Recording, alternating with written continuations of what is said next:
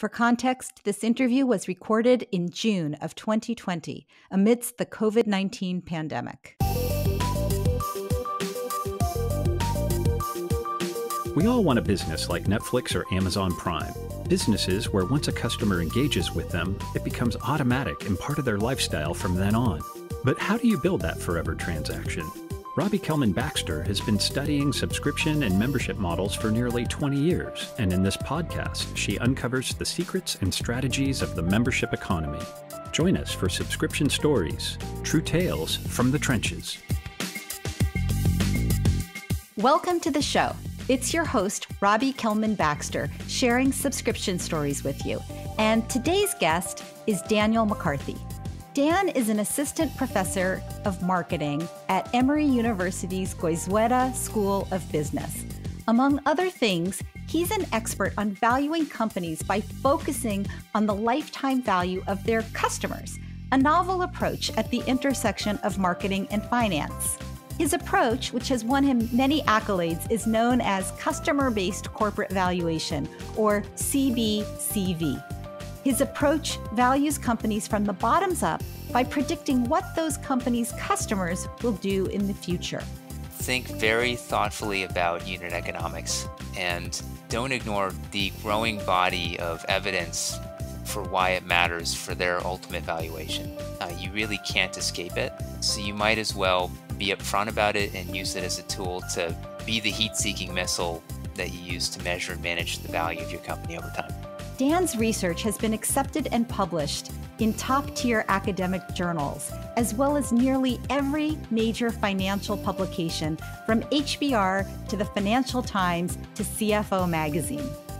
In 2015, he co founded a predictive analytics company, Zodiac, which was later acquired by Nike. Dan subsequently co founded Theta Equity Partners to commercialize his work on CBCV, customer based corporate valuation.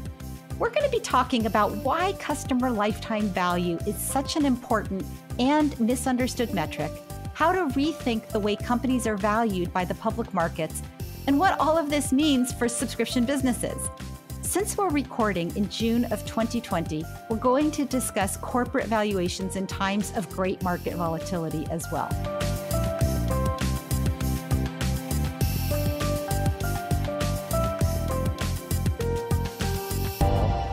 Welcome to the show, Dan.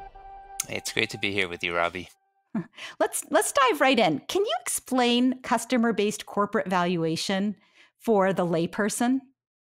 Yeah, customer-based corporate valuation at its most basic level is an enlightened way of forecasting a company's future revenues, uh, but driving that revenue forecast off of what the customers will do. So hopefully, yeah, it's pretty intuitive that yeah, pretty much every major uh, valuation method starts with some sort of a revenue forecast. And the main thing that we would say is uh, every dollar of revenue has to come from a customer who's making a purchase. So if I can just take these best in class marketing science models for how customers are acquired over time, how long they stay with the firm, the orders they place, and the amount that they spend, that's going to give me unique insight into what that future revenue stream is going to look like that might have been hard if I didn't have all that customer level visibility. And so we're just going to kind of exploit that accounting identity for all that it's worth and bring all that marketing into our financial model. Can you talk a little bit about what what was missing before? What is the value of this that you know what you call that marketing information that was missing from past methods of of valuing businesses? Yeah, so oftentimes, you know, call it 30 years ago, we just didn't have that view of of the customer and what the customer is doing over time. And so our valuation method, you know, we could we would know that customers are going to be placing those orders, but if we can't actually see what anyone's doing, we can't actually incorporate that into our model. And so if we can't do that, we're going to rely on everything else that we do have access to. We know the number of stores that we have. We know basically, if I'm uh, extending loans, I know the number of loans that I'm I'm, I'm passing out to consumers. Basically, I'm going to take whatever I can get to to to put it into my model, but you know, if I don't have that customer level data, I really can't do this approach. I'd say the big thing that's changed over the past, you know, call it 20 years is we suddenly have this really nice uh, view of what the customers are doing, whether it's data coming in through through digital, you know, that we can now track and tag what customers are doing online much better than we ever could in, in physical stores. Uh, but even within physical stores, we're doing a much better job of, of being able to trace back those purchases to uh, specific customer IDs. And so, yeah, it just opens up a, a whole new world of possibilities for, for methods like this. Yeah, because what I remember, I mean, my my job between years of business school for a, a brief nanosecond, I worked in investment banking, uh, doing value, doing value. I, I, it was not it was not the place for me. Although I'm sorry you for know, you. I spent many many days crying in the bathroom, um, but that's a that's another story. Uh, but you know, one of one of the things that that we we did is we we tried we valued businesses, and a lot of times, as you said, we were valuing it based on you know well, if last year this store, the average revenue for this store was X, and we're opening three new stores, then our revenue is going to be 4X, right? Because we have four stores um, or whatever it is. And so, assuming that every store would have similar revenue, even though, let's say, the customer behavior might be different, the type of customer coming in might be different. Maybe the early customers that come into a store are different than the ones who come in over time or return and become more profitable and so I think when you when you talk about the data that we have now, part of it is about the the accessibility of that data, and I think part of it is about a changing mindset among businesses to think more and understand more about how the customer each individual customer's behavior impacts that rolled up quarterly revenue number or rolled up annual revenue number. I think that's exactly right. And it's actually a really good analogy because you know, if you start playing it out right now, uh, you can see how it just is, is different now. That uh, you might have a company like, you know, Walmart or, um, you know, Williams and Sonoma. Williams and Sonoma, they do a lot of business in stores, but they get over 50% of the revenues online now. And so, you know, how do we think about that? And typically they think about that in the same way that we think about how an existing store is going to do in future years. You know, that, uh, well, you know, the store did you know, 10, 10 million in sales last year. Um, seems like the economy is going to be pretty good. So maybe it's going to grow 4% this year, basically some sort of benchmark for same store sales growth. But you know, it's like, okay, so, so how, how are those sales coming about and where are we getting that 4% number from? And you know, typically it's again it's some sort of very top down way of thinking about the world. This is to say um, you can keep you know thinking in a top down way but we still know that all the sales are coming from customers and so um, you know let, us incorporate that into that that model for uh, for for what the revenue is going to be next year. It's so interesting the power of the marketing data in the world of, of finance um, you know, it, back to you know when I was at, at you know in, in, investment banking, and I'd come out of you know I did marketing strategy for I was a Booz Allen consultant focused on marketing intensive companies, and I saw the power in understanding the customer, but it wasn't something that was valued uh, in the same way that it is that it is today. Um, this kind of whole idea of customer centricity, and yet understanding you know what a financial person might call unit economics can provide so much more insight about the health of a business model. And I want to ask you about Blue Apron because I know that's a company that you've looked at in great detail. And what you saw that I think some of the public markets missed is such a good example, I think, of the power of CBCV. So could you share a little bit about the you know Blue Apron story? Yes, this was back, I think it was uh, early June 2017, and I had just finished defending my dissertation. Obviously, my dissertation topic was customer based corporate valuation. Um, and it was, uh, it's kind of like you have this hammer and you start looking for nails. And, uh, and someone had, had asked the question, you know, over Twitter actually, you know, so what do you think about Blue Apron? And, um, yeah, I didn't have uh, kids at that time. Again, I just finished the dissertation. I was like, why the heck not? I'm just going to dive in and see see what's in there. Um, and what was interesting was there was no no measures of customer churn in the filing, uh, but they did provide some really interesting data about how customers monetize over time. And uh, you know, basically, there was kind of one where I was like, you know, uh, we should be able to run a model on this. You know, we should be able to take this methodology and just port it over to to Blue Apron's data. And so um, when I did, uh, there were kind of two main conclusions that kind of popped out of that. You know, the first was that their customer retention was not so good.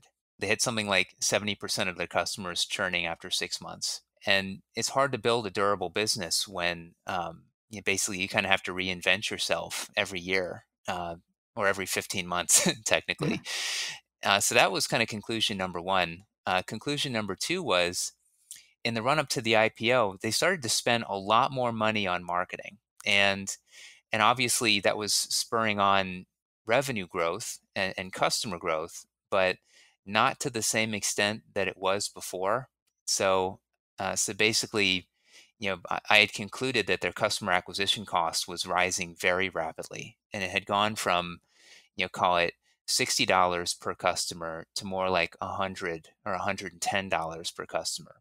And if you just think about unit level profitability and how you know how that changes when you kind of almost double the amount that's spent to acquire customers, that can really change the game. And I think what they were trying to do was they were trying to to hit certain key trophy metrics. It just so happened that the quarter right before the IPO was the very first time they hit a million active customers. And uh, there's just something really nice about a million. So I think as they were doing that, they were potentially actually destroying value at the end, you know, which uh, obviously that, that's that's really not good, even though it is creating revenue growth. I love this story, of course, and not just because you know Blue Apron, of course, is a subscription business. Your your customer based corporate valuation is not limited to subscriptions, but the relationship with subscription businesses I find so useful. And of course, Blue Apron is a subscription business. It's a, a meal kit which, with very high variable costs because you know you're not you're not sending out streaming content or access to software. You're sending out boxes filled with food that have shipping costs. And. You know what I what I found so interesting about your analysis about Blue Apron and the way I looked at it was they were you know as you said they were spending more and more on acquisition. So basically they were giving people free meals to experience their offering. And people were taking that. So they had very high acquisition costs because they were actually giving away food and shipping it to people and you know the more you give away the longer the more months you need to be guaranteed that somebody's going to stay. Let's call that you know if they needed to stay let's say 7 months but the they're not getting profitable until you know they're, they're leaving after six months but it takes seven months to get to profitability you can see that they're effectively losing money on every new customer. This is not as you said a durable model. It's not it's not a profitable model it's not about scaling up. It just doesn't make sense if, if you really have to spend that much to acquire somebody. But if you're looking at it in aggregate, what you see is we put money in for acquisition and we got customers out the other side. And the revenue number, that that big revenue number, didn't tell the story of how people were churning out. Um, and what you know whether or not each individual customer is profitable so I feel like there's a lesson there for the operator and there's a lesson there for the investor. For the investor, it's, you know, as you point out, trophy metrics aren't always the best you know they're, not they're not the they're not the most reliable if you tell somebody what what the metric is that you care about they'll do everything they can to hit that metric even if as you say it destroys the rest of the of the uh, business model and i think for the company it's really important especially in a subscription business to start by making sure that your unit economics work that you know that if you bring in a new customer they're going to stay long enough to justify the cost of acquisition. Before you you know what i think of as turn on your marketing loudspeaker and try to bring a lot more a lot more customers in. No, i think that's exactly right. Yeah i think that uh, for for investors yeah, if you knew nothing else about a company except that their revenues were growing 100% a year, well, you know, growing 100% a year is better than growing 20% a year. But but all else is not equal, and uh, and we need to take into account, you know, all, all revenue is not equal, and um, and yeah, you, you mentioned the example of a software as a service firm. Yeah, typically, a businesses like that, when they acquire customers, uh, the following year, oftentimes they make more in revenue from that cohort than the previous year, and that's very, very, very far from the truth with you know B2C businesses in general, but specifically meal kit companies.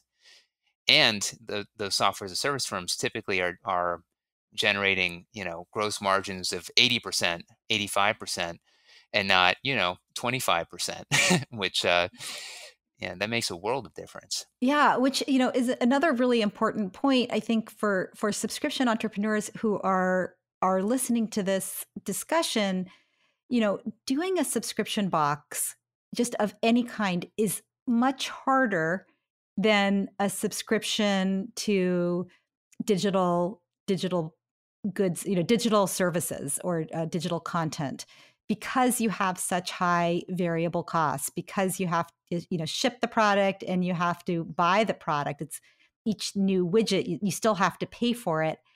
And uh, you know I, I, spoke last year i think you've also spoken at um, one of the big subscription box conferences and i feel like a lot of them underestimate those those costs and how difficult it is to generate profit and also how difficult it is to retain a customer for long enough for you to really enjoy the benefits of, of subscription which as you pointed out in the world of software is that that long tail that long relationship from that initial marketing spend right? That they that you you catch them once and you keep them forever.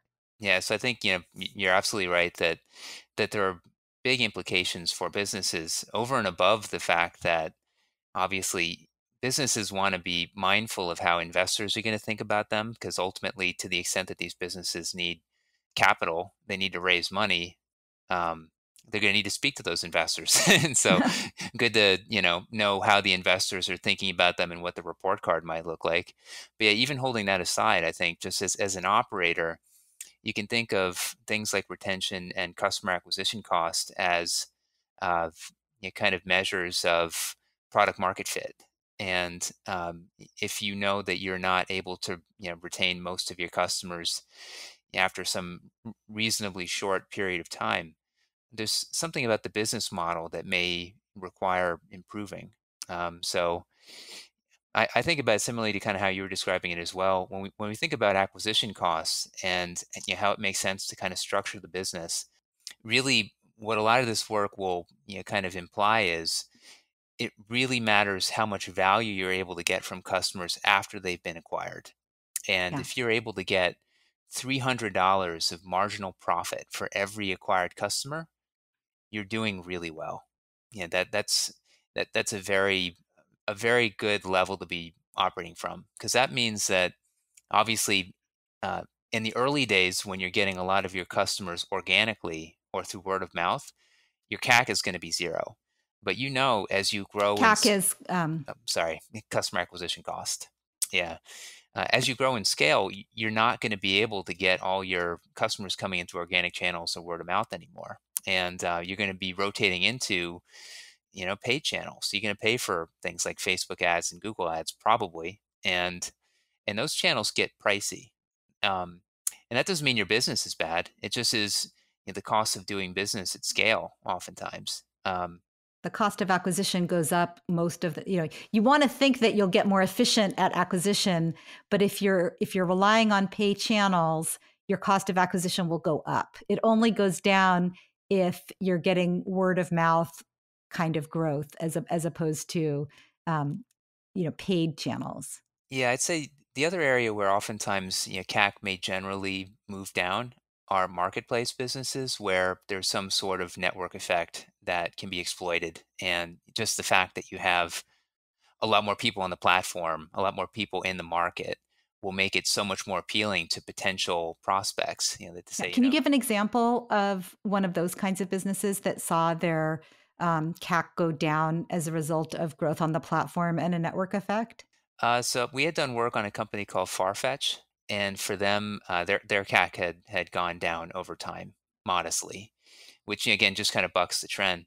Uh, another company actually that we had done work on was was Lyft. You know, they're kind of classic ride sharing service.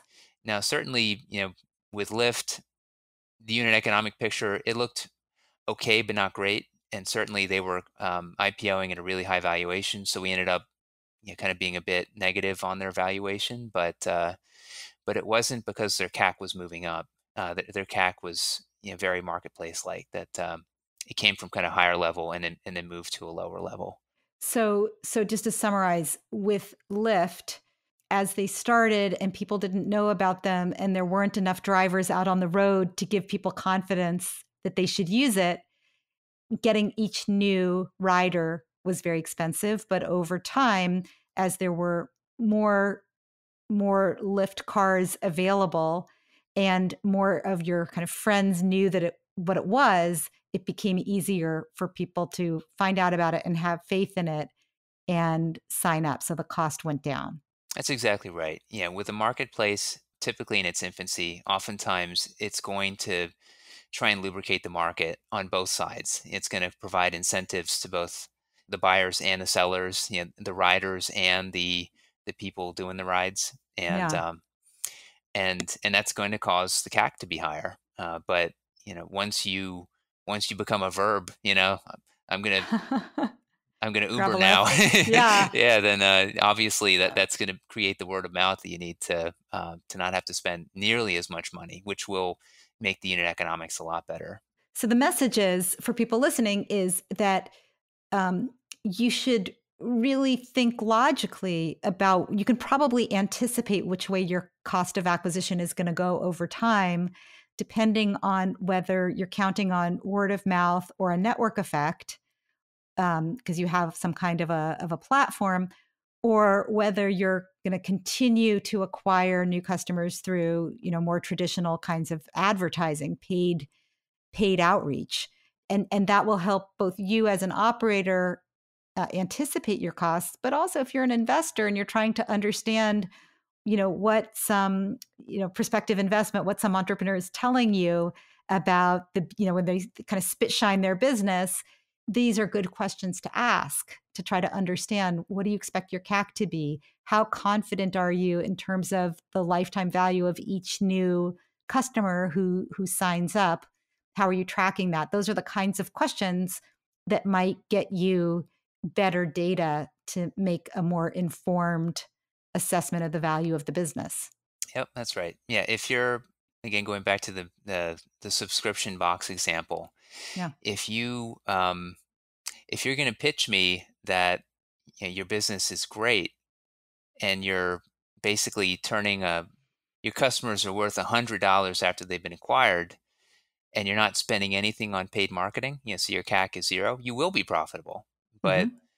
but I know for sure as soon as you start trying to scale that, you know, you're probably going to move from zero to 70, 80 and and that's going to really erode the the incremental profitability of your customers. So, you know, so CLV, yeah, obviously all of this customer is customer lifetime value. Yeah, it's just all basically customer lifetime value, but it's it's also kind of this um, this decomposition of customer lifetime value into what I call the customer acquisition cost, which is what you spend to get the people in the door, and the amount of value that you get after the after they're acquired. You know, what I call the the post acquisition value. And so being able to kind of see see where those numbers have been, how they've been evolving, how the the marketing budget's been evolving, and then just knowing kind of given the nature of the business and where it's looking to go, how those should move in the future.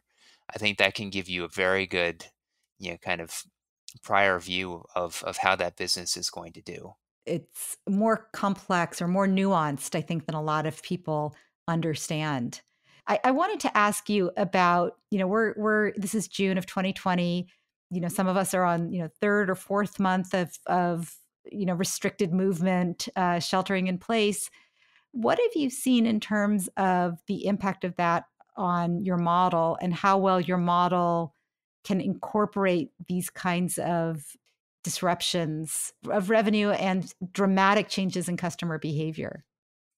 Yeah, I think the way that you framed it was right. That uh, you know, basically it's kind of these this dramatic disruption that obviously, if we were uh, sitting here in January of 2020, you know, our, our model will not predict that. You know, we we take historical data, we use it to predict the future. I think as we have worked our way through it, um, it's a framework like this that can really allow us to understand how these companies are, are doing and be able to answer questions like, you know, is the the drop in revenues at a particular company because the company is no longer acquiring new customers, but the existing customers are doing okay, or you know, is it more broad based than that?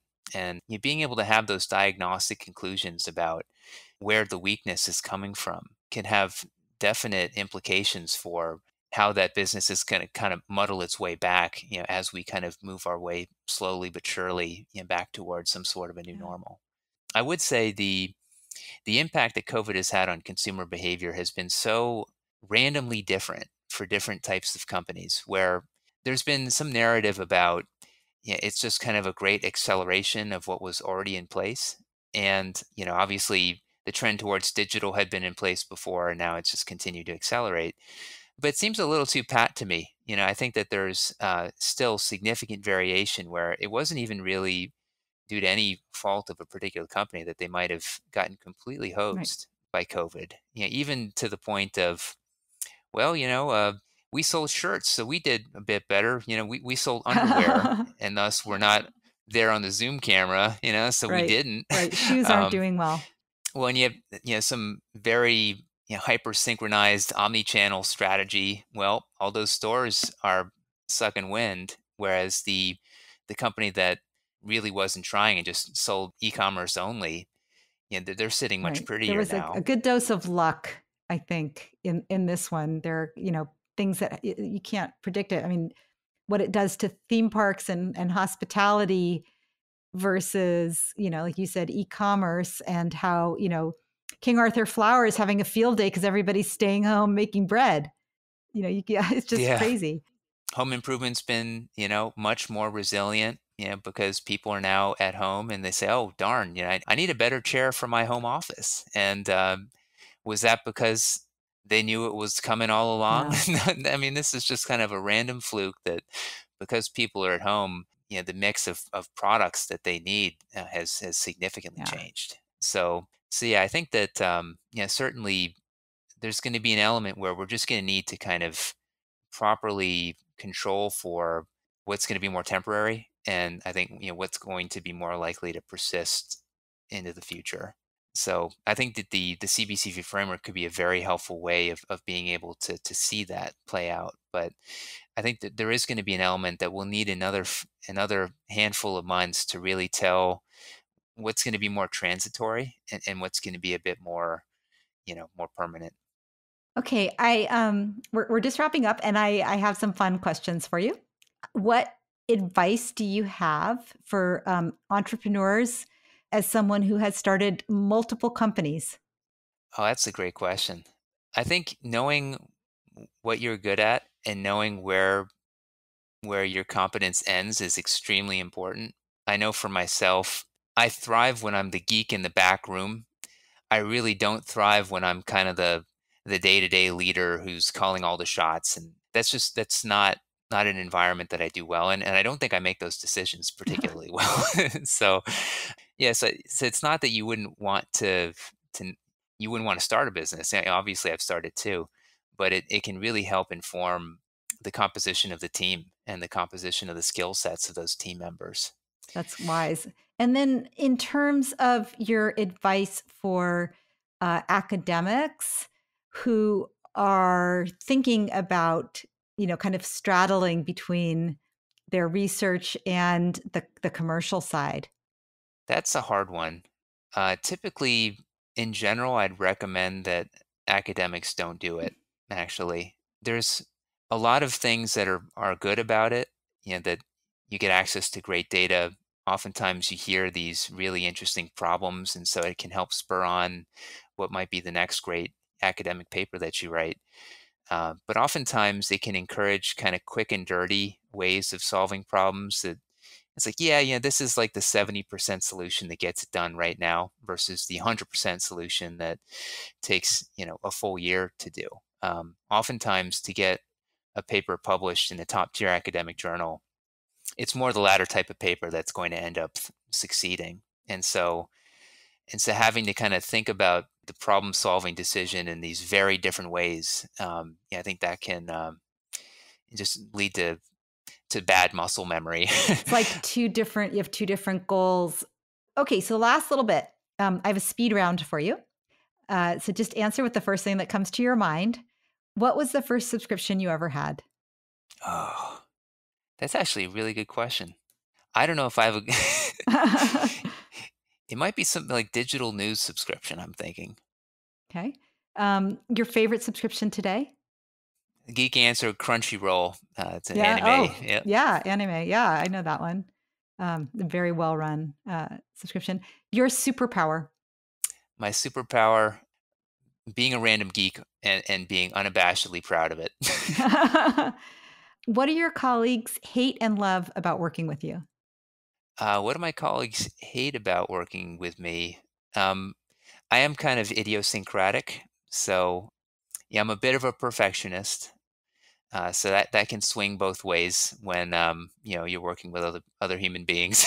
and then in terms of what what they love about working with me, I'm certainly I'm kind of a, a zero or 150 percent sort of a guy. And so when I'm really into something, I, I really try and carry my weight and you know, kind of take take it all the way to the finish line. So, you know, hopefully that uh, hopefully that benefits everyone who's involved. Yeah, that makes for a good colleague. Uh, and then, what is the one thing that you want, the, the, you know, the subscription entrepreneurs and practitioners who are listening to this conversation? What is the one thing you'd like them to take away?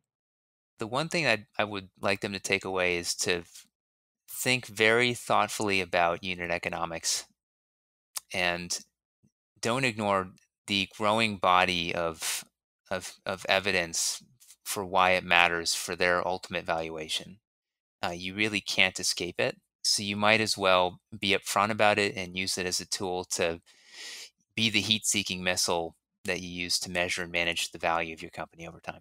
Unit economics are the underloved and so important uh, data uh, for for most entrepreneurs. Uh, great point. Um, so, thank you very much, Dan McCarthy, for spending time with me and sharing your wisdom on subscription stories. Well, thank you for having me. And yeah, hopefully we'll get a chance to, to pair up again sometime soon. I know you mentioned the, the CFO piece. Obviously, that was one that, that we done together, and I had a lot of fun doing that. So, yeah, looking forward to hopefully the next one sometime soon. Yeah, yeah, me too. I look forward to collaborating again soon. Thanks for listening, everyone. This has been Subscription Stories. Today, I was talking with Dan McCarthy of Emory University's Goizueta Business School. To hear more success stories of entrepreneurs creating their forever transaction in this new and exciting membership economy, subscribe to my podcast wherever you download your podcasts. Also, if you like what you're hearing, please give us a rating and review. They mean so much. Thanks for listening and for your support.